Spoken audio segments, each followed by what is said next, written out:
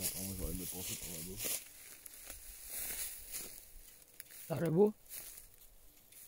Ouais, mais là, il faudrait aller se flaguer, comme tu as dit.